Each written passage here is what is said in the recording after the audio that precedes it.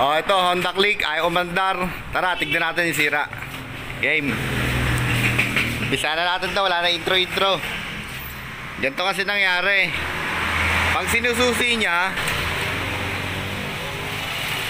wala naman engine check. Di ba? Wala engine check. Pero ayaw gumana ng starter. Ito kasing Honda Click, wala siyang kickstarter. Ayan o, wala. So aasa lang siya dito sa switch. Sa starter switch lang. Ngayon, ito, binaklas ko kasi nilinisan ko lang din. Ngayon, ang troubleshooting ng Honda Click 125 ay ito. 125 nga ba to? Oh, 125 to. Pag sinusi nyo, wala kayo makikita engine check na ganyan. So, wala siya. Totally wala. Ngayon, para malaman nyo kung anong diferensya ng Honda Click, gagamitan nyo lang ng tester light. So, ganito. So, di ba naka-on na kayo? So, siya naka-on.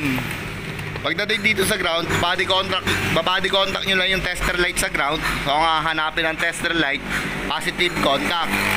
Ngayon, iisa-isayin natin yung fuse. So, yan, may ilaw, may ilaw, may ilaw, may ilaw, may ilaw yan, may ilaw pa. So, yan ha, titignan natin isa-isa yan. Yan, isa-isayin nyo lang yung fuse. Kung may contact. Yan.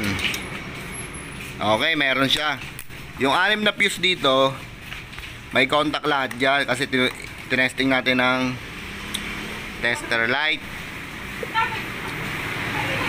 Pangalawa, ang gagawin nyo, patayin nyo ulit yung susian. Punta naman kayo sa tangke, buksan nyo. Itapat nyo yung tenga nyo dyan.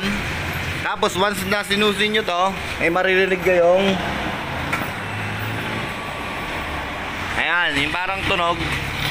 Tunog nung ano, fuel pump. So ibig sabihin, meron siyang linya dyan. Ito na ang senaryo. So kompleto, may fuse box, walang putok na fuse dito. Malakas ang battery, walang engine check, pero ayaw gumana ang starter.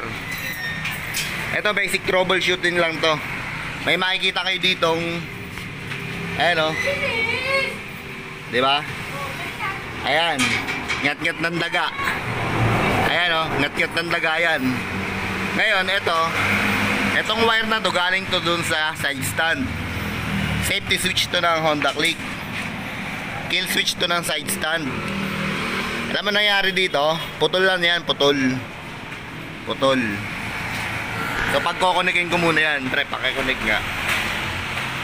Ah, ito, itatap lang namin to ah. Sa side stand yan eh. Eh, mapangkaraniwan sira pag sa EPI yung inangat-yat ng yung wiring. So yun, oh, ikaw, ikaw connect na namin yung side stand switch. Okay, nakakonect na. Naka, mamaya na namin aayusin talaga yan. Oh. Sample video lang naman to eh. Tapos, i-on ko ulit. Eh, naka-on ah. Tapos, start natin. Preno. Ayun. Ayun oh, mandar na oh. Oh. Oh. Ano ba to?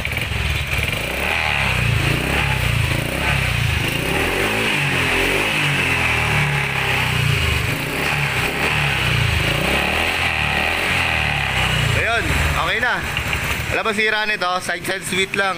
Switch. Ito na, ang inat-ngat ng daga. Ayan o, yung mga pinag-ngatan nyo. Ayan o. So yan. Yun lang. Pagka uh, nangyari to, check nyo muna yung fuse. Pagka may putok na fuse dito, palitan nyo. Tapos check nyo rin yung side stand. Kasi pagka ito yung sira, side stand, hindi lalabas yung engine check dito. Walang ganyan yan, mawawala yan. So magtataka na lang kayo, ba't tayo umandar? Wala naman engine check, malakas battery, gumagana lahat. Ayan o. So isa rin sa dahilan to, side stand. So yun lang. Ah, pang Honda Click. Yan. Ayos. Ah, pala, sisingit ko lang. Bago nyo pala tignan muna yung mga fuse. Dito muna, susi nyo lang. Diba, nagsusi na kayo. Try nyo yung brake light switch. Pipindot-pindutin nyo lang to. Titignan nyo dito sa likod. Ayan. Kung umiilaw. Ngayon, pagka umiilaw yung brake light switch, so ibig sabihin, kasi isa rin to sa starter. Safety switch to eh. Hindi under yung push starter mo pagka walang brake light switch. So ganito yan. Tama ha? Pipindutin ko, di ba? Hindi gagana.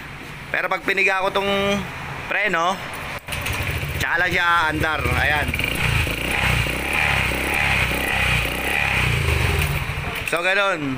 Check niyo muna yung brake light switch. Pagka gumagana dun sa likod, tsaka kayo pupunta dito.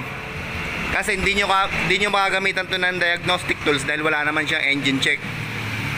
Wala siyang ganito. Ay, yung kulay dilaw na yan. Wala siyang ganyan.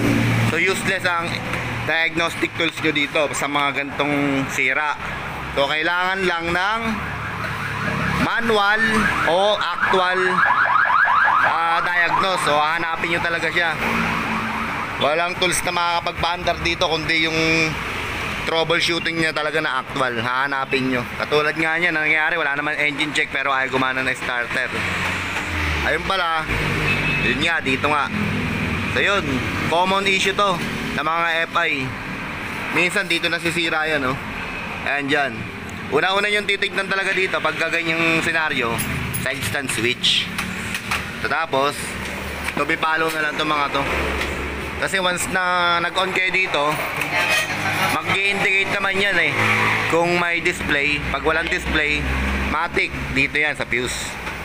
So yun lang, ito Honda Click. Okay na to. Ah, start natin ulit. Ayan o.